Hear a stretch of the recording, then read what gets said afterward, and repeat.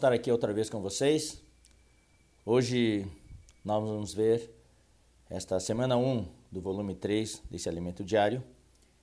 E o tema desta semana é a fé em Cristo e o amor para com todos os santos.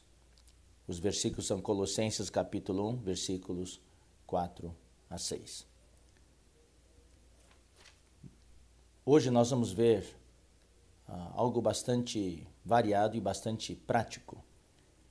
E a maneira como quero apresentar ah, o tutorial de hoje é dar as dicas para os irmãos, para aqueles que querem aprofundar-se na sua vida pessoal com o Senhor.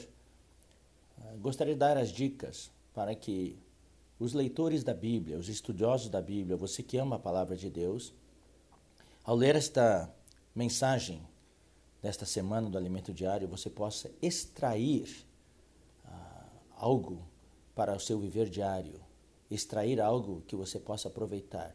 Quero ensinar vocês a como trabalhar na palavra.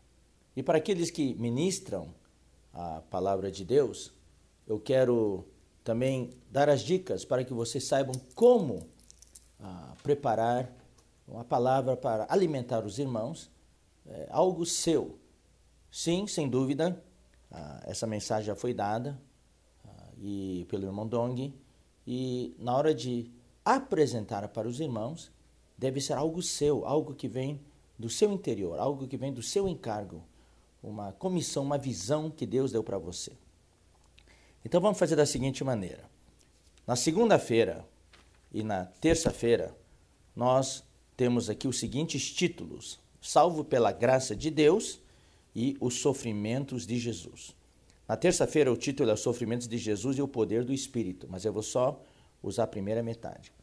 Salvos pela graça de Deus e os sofrimentos de Jesus. Você lê a mensagem, você lê esses dias, daí você tem de transformar isso em algo seu. Ah, quando você lê o material desses dois dias, você vê aqui alguns testemunhos, alguma experiência pessoal. Então, a dica é: você foi salvo pela graça de Deus e você conhece o que Jesus sofreu por você. Então você agora precisa transformar isso em algo seu. Daí vem o seu testemunho pessoal. A dica é, uh, para você que está lendo esse alimento diário para o seu crescimento pessoal, eu sugeriria que você pegasse um, uma folha de papel, uma caneta, um lápis e escrevesse ali. Pare para pensar um pouco. Quem que você era? Escreva assim: quem que eu era? O que eu fazia? Onde eu estava? Quem eu era? E como Deus salvou você? Isso é bom você escrever isso, é o seu testemunho pessoal. Inclusive, isso pode ajudar muitas pessoas depois. E quem prepara a palavra, na hora de ministrar a palavra, é sempre bom, não é só repetir o que você leu. É bom dar o seu testemunho pessoal. O que, que a graça de Deus significa para você? Salvos pela graça de Deus. O que, que a graça de Deus significa para você? Quem que você era antes? Aqui, se você olhar aqui, aqui fala: nós estávamos mortos em nossos delitos e pecados, nós éramos imprestáveis para Deus, nós estávamos perdidos no mundo, nós éramos como um tição destinado a queimar no fogo para sempre. Quem que você era? Qual era a sua experiência antes? Você tinha esperança na sua vida? E falar o que, que Jesus fez para você os sofrimentos de Jesus. Então, fale da experiência da sua salvação, tudo isso resumidamente. Na hora de ministrar a palavra, esse testemunho que você dá é que vai tocar as pessoas. E se tiver alguma pessoa nova ali na plateia, ela vai se identificar com você. E você que está ah, lendo, estudando esta mensagem para o seu crescimento pessoal, essa, é bom se lembrar um pouco da nossa origem, quem nós éramos, onde estávamos e como Cristo nos salvou. E escreva também, e também Busque na palavra o que, que Jesus fez para você. Procure lembrar-se. Ele estava no céu e um dia ele veio para a terra. O nascimento dele. Leia, por exemplo, Isaías capítulo 53. Ali tem uma descrição detalhada da vida humana de Jesus. Nos evangelhos temos aqueles detalhes. Então, isso é trabalhar na palavra, laborar na palavra. Você vai lá na palavra, busca aqueles itens da encarnação de Cristo, como ele não nasceu num berço, não teve uma casa assim de bem provida, era uma família pobre e nasceu vindo assim de os seus pais tinham acabado de chegar de uma viagem. Tinham que voltar para a sua cidade natal para poder se recensear. E ali não houve um lugar para recebê-lo. Não havia uma casa. Não nasceu no hospital. Não havia nenhuma hospedaria. Todos o rejeitaram, não havia lugar. Jesus teve que nascer numa manjedoura, que é um nome bonito para coxo de vaca. Então, você, ao escrever isso para o seu ah, proveito pessoal ou ao ministrar isso para a plateia, muitas vezes as pessoas não ouviram isso. Eles não apreciam, não sabem o que, que Jesus fez por eles. Mas você fala o que, que Jesus fez por você. Fala do, do nascimento dele, da infância dele, do crescimento dele em Nazaré, da vida humana dele, quando ele saiu para ministrar, como ele foi rejeitado, não tinha lugar para comer, não tinha lugar para dormir, não tinha horário para comer, ficava cansado, mas ele estava lá para cuidar das pessoas, curava as pessoas, ministrava a palavra, ensinava as verdades, pregava o evangelho do reino e curava toda sorte de enfermidades e doenças. E depois, como ele foi para Jerusalém para se entregar por nós. Foi traído. A oração dele no Getsemane, depois quando foi preso, os castigos que sofreu. Daí a gente pode relacionar o versículo de Isaías 53. Ele carregou as nossas dores, as nossas enfermidades, os nossos pecados ele que não conheceu o pecado, Deus o fez pecado por nós. Ou seja, estou dando as dicas para vocês, queridos irmãos, de nós nos lembrarmos e também passar para aquelas pessoas que estão nos ouvindo, ou mesmo para o nosso próprio ah, desfrute, também para nosso próprio apreço daquilo que o Senhor fez por nós. Então, esses dois primeiros dias, segunda e terça, é, nos lembrar quem nós éramos e o que, que Jesus fez por nós. E acho que isso vai ajudar muito a nós mesmos e a todos que nos ouvem. E na parte final de terça-feira e também no dia de quarta-feira, o que, que nós temos aqui? Nós temos aqui o tema O Poder do Espírito e o suprimento todo o suficiente do Espírito. Então, vamos continuar nessa linha. Depois que você fala ou se lembra de quem você era e o que, Jesus fez por você, daí você tem que se lembrar que Deus, depois que salvou você, trouxe você para a vida da igreja. Uau, que maravilhoso! O melhor lugar que tem é a vida da igreja. Lugar onde você pode crescer, lugar onde você pode se alimentar, onde você pode desfrutar a alegria e a paz do Senhor. Então, ah, fale para as pessoas o que é a vida da igreja. E isso nos leva a nos consagrar ao Senhor. Daí você quer se consagrar ao Senhor. Inclusive, aqui tem uma oração. Na página 15 tem uma oração aqui. Quando a gente. Eu vou dizer uma coisa: o que, é oração? Oração não é uma coisa religiosa. Oração. É bom a gente ensinar isso para os irmãos e para as pessoas que nos ouvem. A oração é uma reação ao apreço que nós temos. É uma reação de agradecimento que nós temos ao Senhor por tudo que Ele fez por nós. Então, vocês estão vendo? Eu não, eu não estou aqui repetindo o que está aqui, mas estou ensinando, estou dando as dicas de como você pode preparar algo na linha desse encargo, salvos pela graça de Deus e os sofrimentos de Jesus. Agora, uma vez que você está na vida da igreja, e uma vez que você se consagrou, daí na parte final de terça-feira e na quarta-feira, fala do Espírito. O que Deus deseja para você e para mim é que nós vivamos no Espírito. Antes de conhecer o Senhor, antes de sermos salvos pela Sua graça, nós vivíamos na carne. Vivíamos em nós mesmos, nos nossos pensamentos, nas nossas emoções, nas nossas vontades, no que a gente queria fazer. Mas agora precisamos viver no Espírito. Daí, você, ao ministrar a palavra, é bom mostrar para as pessoas que nós somos um ser tripartido. Temos corpo, alma e espírito. E mostrar que Deus é espírito. E Deus quer morar no nosso espírito. E é importante que nós vivamos em nosso espírito humano em comunhão com o espírito de Deus essa união do Espírito de Deus com o nosso espírito é importante. Então, essa parte é para explicar para os irmãos. E você também que está lendo só para o seu proveito, você considerar um pouco, depois de terminar de ler esse, essa, essas passagens desses dois dias, você considera: eu estou vivendo no Espírito? Né? Então, isso é muito importante. Ah, e nós temos vários versículos da Bíblia que falam né, que o Senhor é o Espírito em 2 Coríntios, capítulo 3. Nós temos aqui vários versículos, ah, ah, que também em ah, João, ah, capítulo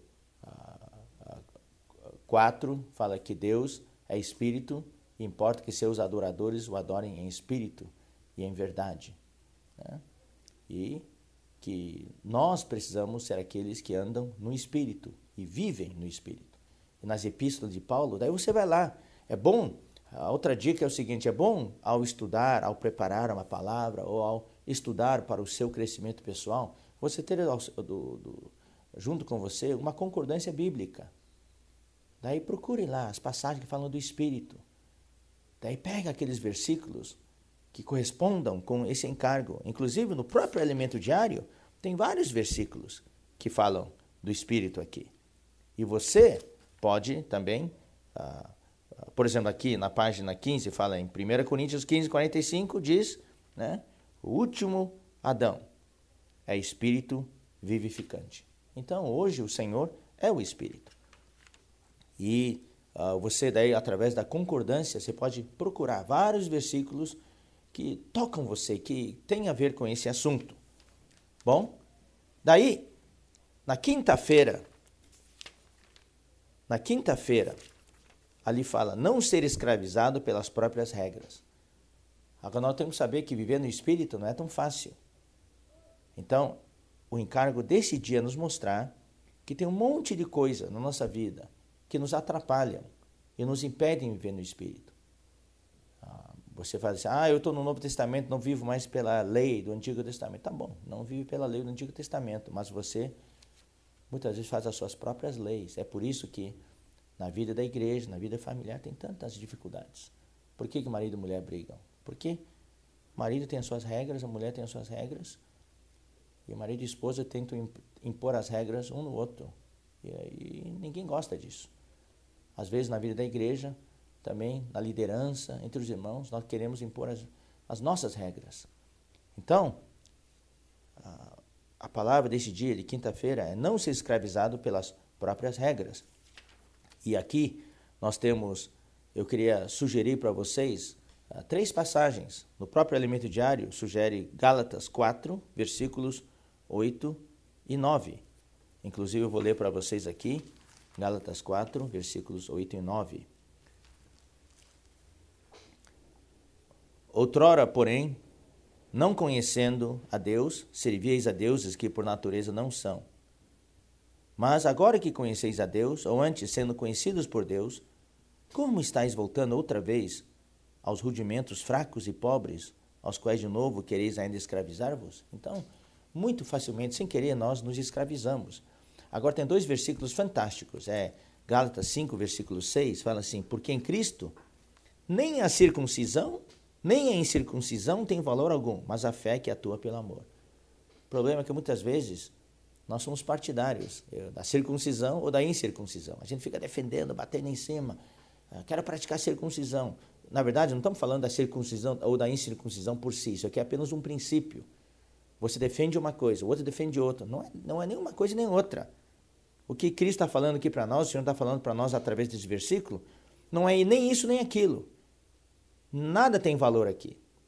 Nem a circuncisão, nem a incircuncisão tem valor algum. Mas a fé que atua pelo amor. O que nós precisamos é a fé que atua pelo amor. E no capítulo 6, versículo 15, fala assim: Pois nem a circuncisão é coisa alguma, nem a incircuncisão. Ou seja, não é nem nessa regra, nem aquela regra, mas o ser nova criatura. Então, você uh, pega esse encargo e você pega os versículos que estão aqui. É importante, a dica é o seguinte: é importante você explicar os versículos para os irmãos.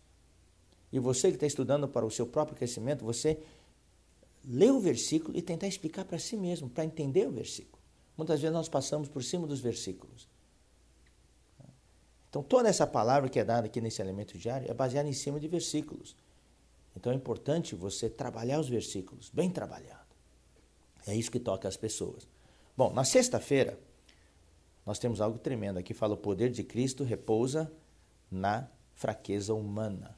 Bom, uma vez que nós agora sabemos quem nós éramos, uma vez que nós sabemos o que Cristo fez por nós, nós andamos no Espírito, nos consagramos ao Senhor, eliminadas as barreiras, as regras, o negócio é servir o Senhor. Mas na hora de servir o Senhor, nós temos duas uh, atitudes. O primeiro é, chá comigo, eu faço tudo, eu consigo fazer. Essa não é uma atitude boa. Moisés tentou fazer isso quando ele saiu aos 40 anos de idade do do, do, do Egito, ele achou que ele era o salvador da pátria, ele podia salvar os israelitas e tudo. E acabou matando um egípcio. Daí teve que fugir, ficou 40 anos ali de molho. Deus teve que trabalhar nele 40 anos. Então, uma, a primeira atitude é a atitude de que eu estou com tudo, eu estou abafando aqui. Não, nós temos que saber que talvez você tenha até bastante capacidade, ou eu. E é isso que a gente precisa ah, ver para que nós mesmos sejamos ajudados e também ajudar os irmãos. Sim, talvez nós tenhamos muita capacidade humana, mas Deus quer usar a nossa parte humana apenas como um vaso, um receptáculo. Ah, o exemplo que é dado aqui no alimento diário é muito bom. Você pode usar esse exemplo. É o de Moisés, quando viu a sarça ardente. A sarça aparentemente é inútil. É um espinheiro, uma planta que só tem espinho. Mas Deus queria queimar. Mas Deus não podia queimar no ar. Ele precisava de um receptáculo, assim como uma lâmpada. Uma lâmpada é um receptáculo para a luz. Se tira a lâmpada, aquela luz não pode brilhar no ar. Aquela lâmpada está lá para segurar a luz. Nós somos vasos. Deus quer nos usar, mas Deus não queima, não usa o que nós temos como combustível. Nós apenas somos um receptáculo, um vaso para conter a Deus, para que Deus possa ah, sair. Então, o que acontece aqui? Então, Moisés achava que era grande coisa, mas daí Deus, naquela visão, depois de 40 anos, Deus mostrou para ele. Ele já estava com 80 anos de idade. E nesse momento, Moisés já se achava inútil. Daí Deus mostrou para ele. Naquela visão fantástica da sarça ardente. A sarça queimava, mas não se consumia, ela ficava inteira. Ou seja, Deus estava queimando, mas não usava a sarça como combustível. Se usasse a sarça como combustível, a sarça se queimaria, desapareceria. O que Deus estava mostrando para ele é: eu preciso de você, mas não as suas coisas naturais. Eu preciso de você para ser o canal, o vaso. E é isso que nós precisamos saber. Nós, humanamente, somos uma sarça, aparentemente somos inúteis. Mas, querido irmão, nós precisamos perceber para nós e também passar isso aos irmãos. Você que vai ministrar essa palavra para os irmãos, você precisa saber. Passar para os irmãos esse conceito Deus quer usar a todos. Nós somos aparentemente inúteis, nós somos uma sarça, mas Deus quer nos usar. E o fogo dele vai queimar em nós. E o segundo exemplo que é dado aqui é excelente. É em Mateus 14, quando fala da multiplicação dos pães. Aparentemente só tinha cinco pães e dois peixes. Mas nas mãos de Deus, aquilo se torna o alimento para se tornou um alimento para cinco mil pessoas, cinco mil homens, não contando mulheres e crianças. Talvez você ache que você, que você tenha muito pouco. Entregue para o Senhor. Né? Então, essa, esse tipo de encorajamento que a gente precisa passar para os irmãos. Então, você mesmo, com suas palavras, use esses dois exemplos para falar para os irmãos. E talvez você tenha uma experiência pessoal que você possa contar. Como você se sentia inútil e tudo, mas como você, ao se colocar na mão de Deus, Deus tornou você uma pessoa útil. Ou seja, o poder de Cristo repousa na fraqueza humana. A sarça é fraca, mas ali tinha o fogo de Deus. Cinco pães e dois peixes, não era nada, mas Deus usou para alimentar cinco mil homens, mais mulheres e crianças. Bom, e para finalizar, sábado e domingo, aqui nós temos o foco, Cristo. O Cristo em Colossenses. Então, aqui eu nem vou detalhar, porque se for detalhar eu vou falar horas aqui. Então, eu só quero ler para vocês os versículos aqui, começando do versículo 13, Colossenses 1, versículo 13, para mostrar aqui que no nosso serviço a Deus, para sermos um vaso útil a Deus, nós que agora que sabemos quem nós somos, o que Cristo fez por nós, e Deus nos colocou na vida da igreja, nós andamos no Espírito, e também agora nós que nos libertamos das regras, eh, das barreiras, somos agora um vaso útil nas mãos de Deus, o que nós queremos apresentar para as pessoas é Cristo. Cristo é o foco, Cristo é o conteúdo.